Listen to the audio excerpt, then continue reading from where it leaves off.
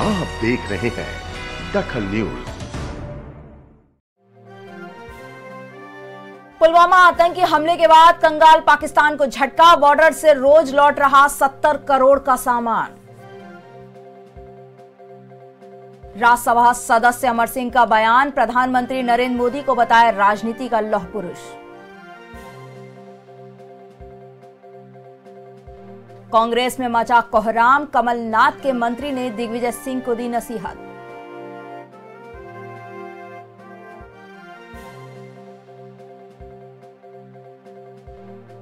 नौ नक्सलवादियों ने किया समर्पण, पाँच नक्सलियों पर था 11 लाख का इनाम।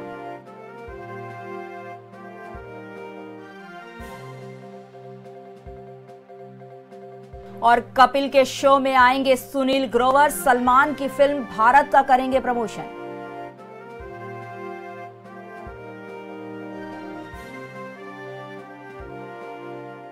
नमस्कार, मैं हूँ शेफाली आप देख रहे हैं दखल न्यूज़ अब खबरें विस्तार से। पाकिस्तान के इशारे पर हुए पुलवामा आतंकी हमले के बाद पाकिस्तान की कमर टूटना शुरू हो गई है। पाकिस्तान के मोस्ट फेवर्ड नेशन का दर्जा छीनते ही पाकिस्तान को रोज 70 करोड़ का नुकसान शुरू हो गया है और बॉर्डर से ही पाकिस्तानी सामान की वापसी शुरू हो गई है।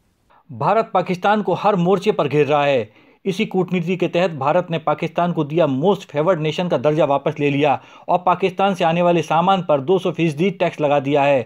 पहले से आर्थिक कंगाली झेल रहे पाकिस्तान की कमर भारत के इस कदम से और टूट जाएगी। अरबों रुपयों का छुआरा बॉर्डर से वापस लौट रहा है। छुआरे से लदे सैकड़ों ट्रक भारत पाक सीमा पर खड़े हैं। करोड़ों रुपए के चीनी के ट्रक भी वापस हो रहे हैं। अनुमान है कि इससे पाकिस्तान को रोज़ाना करीब 50 करोड़ का नुकसान हो रहा है। भारत के इस फैसले से पाकिस्तानी व्यापारियों में हाहाकार मच गया है। अगर सीमेंट और ताज़ा फलों के सैकड़ों ट्रकों का नुकसान जोड़ लें तो पाकिस्तान को रोज़ाना होने वाला नुकसान करीब सत्तर करोड़ का है।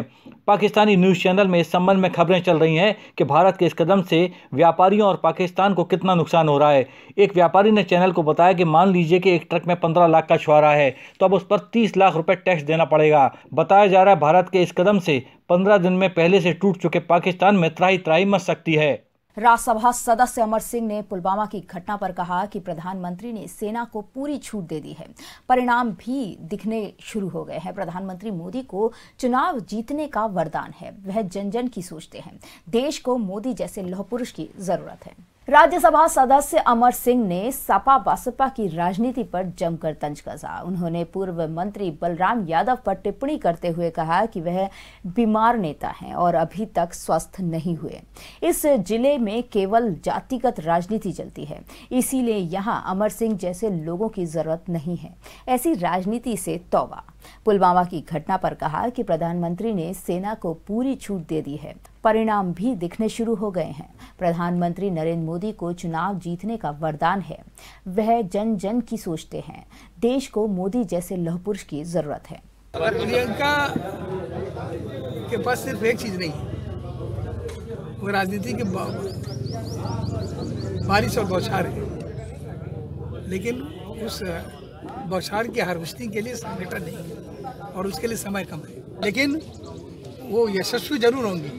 इस चुनाव में। लेकिन विजय मोदी होगी पूर्व मुख्यमंत्री दिग्विजय सिंह और कमलनाथ सरकार के मंत्री उमंग सिंघार अब आमने सामने आ गए हैं। वहीं दिग्विजय सिंह के मंत्री पुत्र जयवर्धन सिंह इस मामले पर मध्यस्थ की भूमिका में नज़र आए। कमलनाथ सरकार में दिग्विजय सिंह के दखल से विवाद की स्थिति बन गई है। जब दिग्विजय सिंह ने नर्मदा किनारे हुए वृक्षारोपण के मसले पर सरेआम वन मंत्री उमंग सिंगार की समझ पर सवाल उठाए तो उमंग सिंगार ने दिग्विजय सिंह को पत्र लिखकर बताया कि मैं पंद्रह साल से विधायक हूँ और हर कागज़ पढ़कर ही काम करता हूँ। ऐसा है पंद्रह साल से मैं भी विधायक हूँ। कागज़ पढ़ना मुझे भी आता। उनको प्रश्न का उत्तर खुद को पढ़ना था। इस मामले में दिग्विजय सिंह ने कहा जो मुझे कहना था मैं कह चुका हूँ। अब इस मामले पर दिग्विजय सिंह खुद को अलग थलग सा महसूस कर रहे हैं। उनकी सार्वजनिक टिप्पणी की शिकायत राहुल गांधी तक पहुँच गई है। ऐसा जो कुछ मुझे कहना था मैंने पत्र में कह दिया। दिग्विजय सिंह को वन मंत्री उमंग सिंघार के पत्र के मामले को लेकर जयवर्धन सिंह ने कहा कि ऐसी कोई नाराज़गी वाली बात नहीं सबका अपना अपना स्टाइल होता है। उन्होंने कहा सिंगस्त मामले को लेकर पूर्व मुख्यमंत्री दिग्विजय सिंह ने बात की थी। अभी जाँच रिपोर्ट विभाग को मिलनी नहीं है। जैसे ही जाँच रिपोर्ट मिलती है वैसे ही इस पूरे घोटाले की जाँच की जाएगी। देखिए हर हर व्यक्ति की आ, संदेश पहुँचाने की अलग स्टाइल होती है।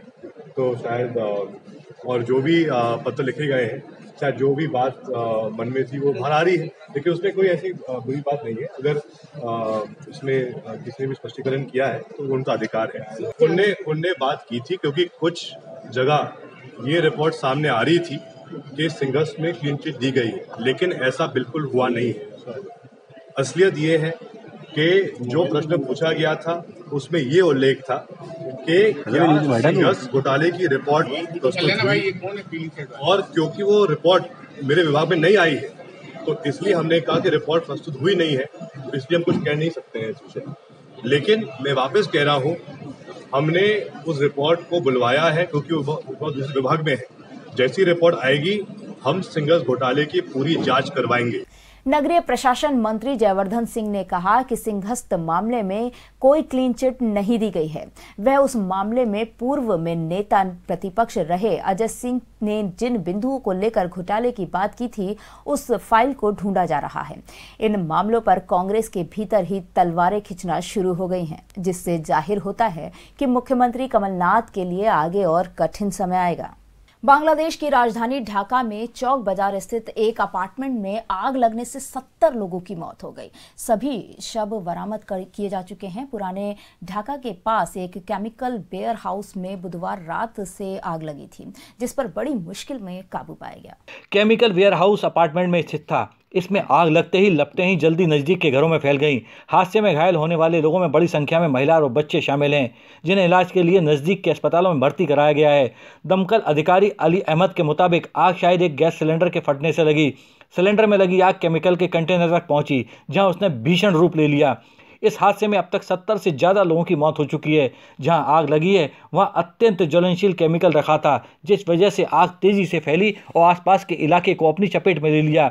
जिस वक्त आग भड़की, उस वक्त इलाके में ट्रैफ़िक जाम लगा हुआ था। इस वजह से लोगों को बचकर निकलने का मौका भी नहीं मिल पाया। आग को काबू करने के लिए मौके पर 200 से ज़्यादा फायर ब्रिगेड का इस्तेमाल किया गया। बीएसपी विधायक रमाबाई, कामों को लेकर कमलनाथ सरकार से नाराज़ हैं। उन्होंने कहा, हमारे सहयोग से सत्ता में आए और हमारे ही काम नहीं हो रहे। लोकसभा चुनाव के बाद देखती हूँ कि ये मंत्री बनाते हैं या नहीं। अपनी साफकोई के लिए चर्चित रमाबाई ने बताया कि बासपा, सपा और कई कांग्रेस के नाराज़ विधायकों ने मुख्यमंत्री से मुलाकात कर मंत्रियों द्वारा काम न किए जाने को लेकर नाराज़गी जताई है। रमाबाई ने कहा, हमारे सहयोग से सत्ता में आए और हमारी ही काम नहीं हो रहे हैं। किसी को नहीं करना तो क्या हम लोग बेवकूफ़ हैं कि जो मंत्रालय मंत्रालय, इस मंत्री, उस मंत्री, इस मंत्री, उस मंत्री के पास जा रहे हैं, चिट्ठी लेके एक लेटर पैड पे लिख के दे रहे हैं, काम हो नहीं रहा, और उनके सबके काम हो रहे हैं। उधर हम एक एक व्यक्ति के लिए बोल रहे हैं कि इसको ट्रांसफ़र इधर से इधर करना है तो वो उसमें नियम कानून है, और खुद के यहाँ गधों को घोड़ों की रेसों में दौड़ाया जा रहा है। मंत्री तो मैं बन ही जाऊँगी, अभी नहीं बनाएँगे तो वो लोकसभा चुनाव के बाद बनाएँगे। बनाएँगे और लोकसभा की बात है फिर मैं वो बदलूँगी जो मुझे उनके जोन मंत्री में से एक आदमी को मिटाने पड़े कराने के बाद। बसपा विधायक रमाबाई ने कमलनाथ सरकार पर कई आरोप लगाए। रमाबाई ने कहा, कांग्रेस के सारे काम हो रहे हैं। हम अगर किसी ट्रांसफ़र को बोलते हैं तो नियमों का हवाला देते हैं। कोई काम नहीं कर रहे हैं मंत्री। खुद के मंत्री बनने को लेकर उन्होंने कहा, अभी नहीं तो लोकसभा चुनाव के बाद बनूँगी मंत्री। रतलाम के बीजेपी विधायक चैतन्य कश्यप ने वेतन भत्ता और पेंशन न लेने का फैसला किया है। विधायक ने कहा कि सरकार वेतन भत्ते में मिलने वाले पैसे को सरकारी खर्च और सामाजिक कार्य में लगाए। विधायकों को खुद की सैलरी की बड़ी चिंता रहती है लेकिन एक ऐसे भी विधायक है जिन्होंने वेतनमान और पेंशन न लेने का फैसला किया है। हम बात कर रहे हैं रतलाम के विधायक चैतन्य कश्यप की। चैतन्य कश्यप रतलाम सिटी से बीजेपी के विधायक हैं और विधानसभा में इन्होंने कहा कि मैं विधायक वेतनमान और पेंशन नहीं लूँगा। विधायक कश्यप ने कहा कि उनके वेतनमान के पैसे सरकार सरकारी खर्च और सामाजिक कार्यों के लिए उपयोग करे। जमा की जाए वेतन का हरण नहीं करूँगा। पूर्व में भी मैंने पिछले विधायक काल में भी करा था इस बार भी, क्योंकि यह मैं राजनीति में सेवा के माध्यम से आया हूँ और मैं चाहता हूँ कि जो समर्थ हैं उन लोगों को एक आदर्श उदाहरण राजनीति में रखना चाहिए और हम राजकोष के अंदर विश्वास करके कि यह कल्याणकारी कामों में, जन, जनहित के कार्यों में लगेगा। तो मैंने सारी राशि का समर्पण आज विधानसभा के अंदर सबके सदस्यों के समक्ष करा है और मैं मानता हूँ कि मध्य प्रदेश सरकार इस पूरी राशि का सदुपयोग करेगी और जनहित के कामों में आगे यह पहली बार नहीं है जब विधायक ने वेतन न लेने का फैसला किया हो। कश्यप ने पहले भी बीजेपी सरकार में वेतन मान न लेने का निर्णय लिया था। कश्यप ने कहा कि वो सामाजिक कार्यों के लिए राजनीति में आए हैं और जनसेवा उनका कर्तव्य है। विधायक कश्यप ने दूसरे विधायकों से भी अपील की है कि जो समर्थ हैं उनको राजनीति में आदर्श के तौर पर ऐसा करना चाहिए। लेकिन एमपी में उन जैसा कोई दूसरा विधायक अब तक सामने नहीं आया है। समय ब्रेक का है। ब्रेक के बाद जल्द हाजिर होंगे। आप देखते रहिए दखल न्यूज़।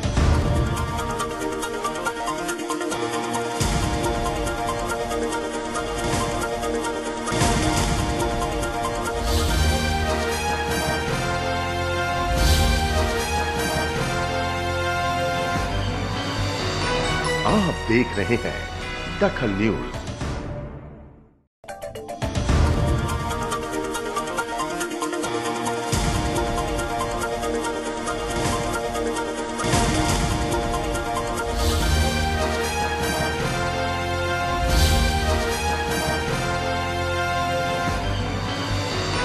आप देख रहे हैं दखल न्यूज़। ब्रेक के बाद आपका स्वागत है जबलपुर के जिला सहकारी बैंक में चोरों ने धावा बोलकर 80 लाख से ज़्यादा की चोरी को अंजाम दिया। पिछले एक साल से बैंक के सीसीटीवी कैमरे बंद पड़े थे और चौकीदार भी रात को बैंक में नहीं रुकता था। शाहपुरा भिटौनी थाना अंतर्गत जिला सहकारी केंद्रीय बैंक में चोरों ने बड़ी वारदात को अंजाम दिया। चोरों ने बड़े शातिराना अंदाज से बैंक में चोरी को अंजाम दिया। बैंक परिसर के पिछले हिस्से की खिड़की गैस कटर से काटी और चोर बैंक के अंदर गए। बैंक के लॉकर को काट कर उनमें से रखे कैश अस्सी लाख पचास हज़ार रूपए को निकाल ले गए। अस्सी लाख नब्बे हज़ार सात सौ तैतालीस रूपए कैश था। अब चोरी होने के बाद ये तिजोरी खोलेंगे तब पता चलेगा कि क्या बैलेंस बचा हुआ है। कि पूरा चला गया। साढ़े दस बजे जैसे ही हमारे चपरासी ने खोला तो वहाँ का ताला टूटा हुआ था। तुरंत पुलिस को इन्फॉर्मेशन दिया हेड ऑफ़िस को इन्फॉर्मेशन दिया जिसके बाद अब ये कार्रवाई चल रही है। कैमरा तो बंद है साहब इसके लिए मैंने ऊपर लिखा पढ़ी की थी कि कैमरा को नया लगाया जाए बदलवाया जाए। हैं? चार पाँच छः महीने छः महीने से। नहीं लगता। हाँ बैंक में जानकारी है बाकायदा बैंक की सबसे बड़ी लापरवाही यह रही कि बैंक के सीसीटीवी कैमरे लगभग एक साल से बंद पड़े थे। सुबह जब बैंक चौकीदार बैंक पहुँचा तब इस घटना की जानकारी लगी। चौकीदार रात में बैंक में रुकता ही नहीं था। पुलिस मौके पर पहुँची और डॉग के साथ घटना स्थल का मुआयना किया। स्पॉट को और वेरीफाई कर रहे हैं कितना पैसा गया है। पीछे से ग्रिल टूटी है और सेफ़ का ताला जो दोनों खुले हुए हैं और एफएसएल की हमारी टीम आ रही है। उसके बाद जो बारीकी से निरीक्षण करने के पश्चात पता चलेगा कितना एक कैसे अमाउंट गया है। कल ही इनके पास में पचास लाख रुपये लगभग आया था। बाकी कुछ बैलेंस और था जो करीबन सतासी लाख का बता रहे हैं। और सतासी लाख समथिंग का। पूरा बाकी डिटेल और देखते हैं कितना उनका स्टेटमेंट देते हैं और एफआईआर में क्या लिखवाते हैं। वो उन्होंने जो है पीछे से ग्रिल जो है कटर से निकाली है। और बाकी सेफ़ में भी जो है वो लगाया है चोरों ने। तो उसमें पैसे उसमें जले हैं। कुछ दो चार जले हुए नोट वहाँ पड़े भी हुए हैं। तो पीछे से जो खाली मैदान है, उसकी वजह से पीछे से जो इनकी खिड़की है, वहाँ से एंट्री हुई है। कश्मीर के पुलवामा में हुए आतंकी हमले ने देश भर को झकझोर दिया है। दमहों में भी आतंकी हमले का जमकर विरोध हुआ तो वहीं दर्जन भर से ज़्यादा युवाओं ने घटना के तीसरे दिन मुंडन संस्कार कराकर शहीदों को श्रद्धांजलि दी। पुलवामा आतंकी हमले से देश के लोगों का आक्रोश थमने का नाम नहीं ले रहा है। दमोह के लोगों ने मुंडन संस्कार कराकर शहीदों को श्रद्धांजलि अर्पित की। महाराणा प्रताप चौक पर ओबीसी एससी एसटी के आरक्षण की मांग करने वाले युवा एडवोकेट वैभव सिंह और उनके सभी साथियों ने आतंकी हमले में शहीद हुए सैनिकों के लिए मुंडन संस्कार कराया और सैनिकों को श्रद्धांजलि दी। पुलवामा में जो घटना हुई है, जिसमें बयालीस हमारे सैनिक मारे गए हैं उन सैनिकों को परिवार का सदस्य मानते हुए, क्योंकि वो हमारी रक्षा करते हैं, देश के लिए कुर्बानी देते हैं, परंतु उन लोगों को इस तरीके से आतंकवादियों ने मौत के घाट उतार दिया। और मुझे ऐसा व्यक्तिगत तौर पर महसूस हुआ कि मेरे घर का सदस्य शहीद हो गया। इस देश का जो प्रथम स्वतंत्रता संग्राम था, वो बुंदेलखंड की धरती से चालू हुआ था, और उसका नेतृत्व मेरे परिवार ने और मेरे पूर्वजों ने किया था। अठारह सौ बयालीस की क्रांति हुई। अठारह सौ सत्तावन की क्रांति में भी सबसे अंतिम समय तक अगर कोई लड़ा है तो वो बुंदेलखंड लड़ा है दमो लड़ा है। और मैं दमो की तरफ़ से यह श्रद्धांजलि अर्पित कर रहा हूँ सैनिकों को। हम लोग करीब एक महीने से धरना पर यहाँ पर बैठे हुए हैं और इसी बीच ये दुखद घटना पुलवामा में, जम्मू में हो गई है। तो हम लोगों को इतना दुख हुआ है क्योंकि वो हमारे घरों के भाई, बेटे और सरहद पे वो हादसा जो हुआ है तो हम लोग आहत हुए हैं। तो इसी कारण से हम लोग सभी लोगों ने अपने मुंडन संस्कार करवाए और अपने घर की भांति वेदना, दुख व्यक्त करते हुए आज ये मुंडन संस्कार कार्यक्रम यहाँ पर किया है दमों में। देश के जवानों के शव देखकर हर किसी का खून खोल गया। दमोह में भी लोग आतंकी हमले से नाराज़ हैं। इन लोगों ने मोदी सरकार से कहा कि समय रहते ऐसी नापाक हरकत करने वाले पाकिस्तान को सबक सिखाया जाए। रीवा नगर निगम अब समस्या का ऑनलाइन समाधान करेगा। इससे लोगों को नगर निगम के चक्कर काटने से निजात मिल जाएगी। नगर निगम आयुक्त ने शहर में हो रही समस्याओं को जल्द से जल्द हल करने के साथ सभी को ध्यान में रखते हुए कार्य करने की बात कही। निगम आयुक्त ने कहा कि लोगों को पानी का बिल जमा करने निगम के चक्कर नहीं काटने होंगे। उन्होंने कहा कि अब इस तरह के सारे कार्य ऑनलाइन प्रोसेस से तहत घर बैठ कर किए जा सकते हैं। करता है उसके अनुसार मैं तो कहूँगा कि भाई, जन्म, मृत्यु के पंजीयन से लेकर शादी का पंजीयन या कार्ड की स्थिति मतलब पेंशन की स्थिति, सारी चीज़ें जो है, प्रत्येक वार्ड की उसमें हो। शुरू वहाँ से ही हो। आदमी को जोनल कार्यालय या हमारे कार्यालय में आना न पड़े। उसका आवेदन उसी स्तर पे हो, निराकृत होकर के वहीं से वो डिस्ट्रीब्यूट हो जाए। इसलिए मैं प्रत्येक वार्ड कार्यालय को या सेवा केंद्र को मतलब ऑनलाइन सुविधा उपलब्ध कराने के लिए वहाँ कंप्यूटर ऑपरेटर इसकी व्यवस्था भी करा रहा निगम आयुक्त ने कहा कि सभी वार्डों में ऑनलाइन शिकायत सेवा भी शुरू होने जा रही है। इस सुविधा के शुरू होने से हर वार्ड का निवासी अपने ही क्षेत्र में जाकर निगम के द्वारा बने कंट्रोल रूम में शिकायत कर सकेगा, जिसके बाद उनकी समस्या सीधे निगम आयुक्त से लेकर स्थानीय पार्षद और महापौर तक पहुंचेगी और उसका तुरंत निराकरण किया जाएगा। पूर्व मंत्री नरोत्तम मिश्रा ने दिग्विजय सिंह पर बड़ा हमला करते हुए कहा कि दिग्विजय सिंह सदन की कार्यवाही को प्रभावित करने का काम कर रहे हैं। मिश्रा ने तंज कसते हुए कहा कि दिग्विजय सिंह का उनके ही मंत्रियों से संवाद नहीं है। नरोत्तम मिश्रा ने कहा कि कांग्रेस ने अनट्रेंड व्यक्तियों को मंत्री बनाया है। मिश्रा ने सरकार पर तंज कसते हुए कहा कि ये यू टर्न वाली सरकार है। नरोत्तम मिश्रा ने कहा कि जो जवाब सरकार के मंत्रियों को सदन के अंदर देना चाहिए, वो सदन के बाहर दे रहे हैं। नरोत्तम मिश्रा ने मुख्यमंत्री पर भी निशाना साधते हुए कहा कि मुख्यमंत्री ने भी ट्वीट के माध्यम से जो बात कही है, वो गलत तरीका है और नियम के विरुद्ध है। अनट्रेंड व्यक्तियों को मंत्रिमंडल में नहीं लेना चाहिए, मेरे ख्याल से। वैसे भी ये यू टर्न सरकार है। किम कर्तव्य विमूढ़ वाली सरकार है। उहा पो के अंदर ये सरकार चल रही है। सदन चल रहा हो तो दो मंत्रियों ने जो स्वयं का जवाब है, बाहर जाके उसका जवाब दिया। चलते सदन में मान्य परंपराओं का, प्रक्रियाओं का पालन करके उनको सदन के अंदर ही अपना स्पष्टीकरण देना था, अगर कोई भ्रम की स्थिति थी तो। मैं मानता हूँ कि मुख्यमंत्री जी ने ट्वीट करके भी नियम परंपरा का उल्लंघन किया है और मंत्रियों ने भी किया है। और दिग्विजय सिंह जी ने सदन की कार्यवाही को बाधित करने की भी कोशिश की है, ऐसी मेरी मान्यता है। ये एक बात है, दूसरी बात ये भी है कि कांग्रेस किस तरह से अंतर विरोधों से जूझ रही है, ये दूसरा पक्ष है। आप देखें, एक पार्टी का महासचिव या नेता जो जिसको आप लोग सुपर सीएम कहते हैं, वो अपने मंत्रियों से संवादहीनता की स्थिति है उनकी। वो चाहते तो ये बात फ़ोन पर के अपने मंत्रियों से कह के उसका खंडन करा सकते थे। लेकिन मीडिया के माध्यम से, ट्विटर के माध्यम से अपने मंत्रियों को ये कहना, खासकर उन मंत्रियों को जो कमलनाथ और सिंधिया गुट के हैं। उन्होंने अपने गुट के किसी मंत्री को ऐसी सीख कभी नहीं दी है।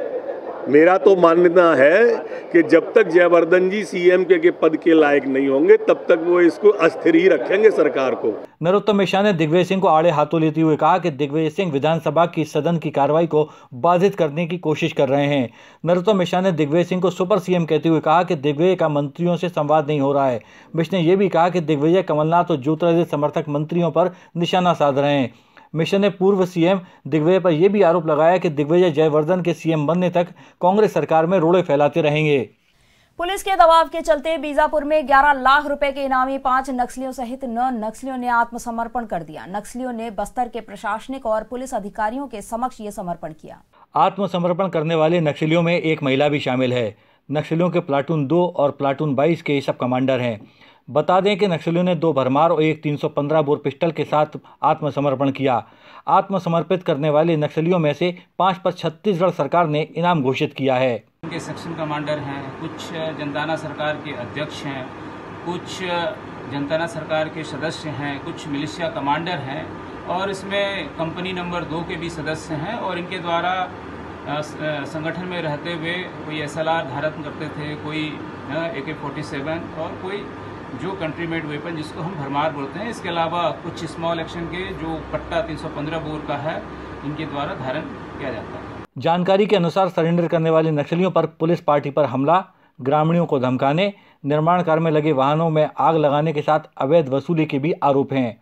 पुलिस सरेंडर करने वाले नक्सलियों से पूछताछ कर रही है। सलमान खान ने अपने अंदाज में कपिल शर्मा और सुनील ग्रोवर को एक बार मिलवा ही दिया। सुनील कपिल शर्मा शो में सलमान खान की फ़िल्म भारत का प्रमोशन करने आएँगे। कपिल शर्मा के शो में सुनील ग्रोवर के साथ सलमान और कटरीना कैफ भी नज़र आएँगे। सुनील ग्रोवर और कपिल शर्मा को एक साथ एक मंच पर देखने की इच्छा रखने वाले फैंस के लिए खुशखबरी है। खबर है कि सुनील ग्रोवर जल्दी ही द कपिल शर्मा शो में नज़र आने वाले हैं, लेकिन वे बतौर डॉक्टर मशहूर गुलाटी या गुत्थी के किरदार में नहीं, बल्कि एक सेलिब्रिटी के तौर पर शो में एंट्री करेंगे। सुनील ग्रोवर कपिल के शो में अपनी फ़िल्म भारत को प्रमोट करने पहुँचेंगे। सलमान खान और कैटरीना कैफ के साथ ही सुनील भी इस फ़िल्म में गेस्ट के तौर पर नज़र आएँगे। ज़ाहिर कपिल और सुनील के फैंस के लिए बेहद खास और दिलचस्प नज़ारा होगा। खबर यह भी है कि भारत फ़िल्म के प्रमोशन के लिए सलमान खान और कैटरीना ने ही कपिल शर्मा शो में सुनील को पहुँचने के लिए तैयार किया। इस बुलेटिन में फ़िलहाल इतना ही। आप देखते रहिए दखल न्यूज़। दखल आपके हक में। हर बार की तरह जर्जर भोपाली आपके साथ। आपको सुनाएँगे भैरन समाचार। नमस्कार वेरन समाचार है। आपको वेलकम कर रहा हूँ। मेरा नाम है जर्जा भोपाली। और गर्मी पड़ने लगी है, बता रही हूँ। कल्याण भाई, जरा ठंडा वंडा पिलवाओ सबको। हाँ। वही इमरान खान क्या कह रहे हैं, बातचीत से हल करेंगे समस्या। बताओ यदि बातचीत में एक्सपर्ट होते इनकी तीन बीवियाँ इनको छोड़ के नहीं जाती, बता रही हूँ।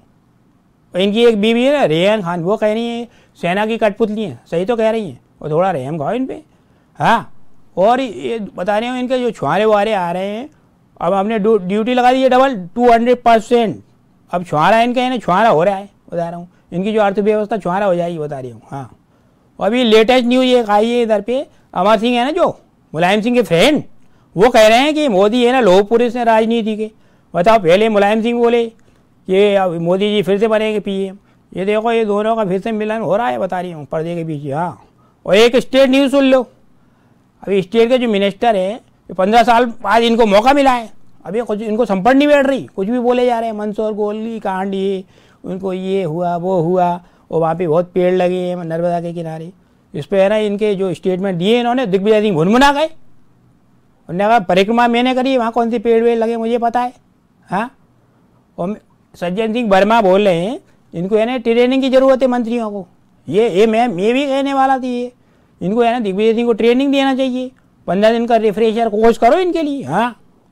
और ये देखो बड़े बड़े जो उद्योगपति हैं अनिल अम्बानी वगैरह, इन्होंने एरिक्सन कंपनी से चार सौ तिरपन करोड़ का वो कर्जा ले लिया था। खा गए उनके बता रहा हूँ। और कोर्ट ने बोला है उनको जल्दी दो। और जो बड़े बड़े उद्योगपति कर्जा ले रहे हैं तो हाँ हम भी ले लो। अरे कल्याण भाई, एक साइकिल के लिए लोन ले लो।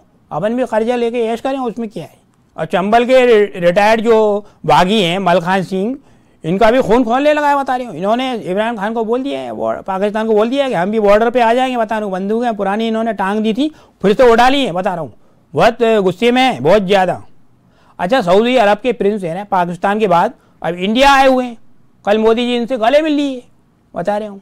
उन्हें गले मिल के कान में क्या बोला? वो मुझे पता है, पूछो।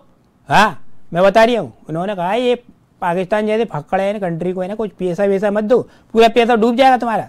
और पूरा पैसा है ना आरडीएक्स में लगा देंगे ये लोग। कुछ काम वाम तो है नहीं इनको। हाँ।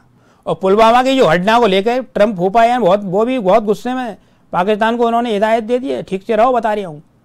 और बता रहा हूँ, इस समय है ना, पाकिस्तान के जितने भी नेता वगैरह हैं ना, सब टॉयलेट में बैठे हुए पूछो क्यों? अरे इंटरनेशनल प्रेशर इतना बना हुआ है। हाँ। और दूसरी बात ये बता ये खबर इधर पे देख लो। ये नकली दांत लगाए थे इन्होंने। इनका चार नकली दांतों का सेट है ना गले में फंस गया। सांस की नली में फंस गया। अब मैं बता रही हूँ, ये लगवाती है क्यों? अरे बढ़िया, भंडार, नीम की दांतों करो, मैं तो वही करता हूँ, नीम की दांतों। हाँ। और मैं, मेरा टाइम हो गया। अब मैं नीम के पेड़ पर जा रही हूँ, दांतों तोड़ने। नमस्कार।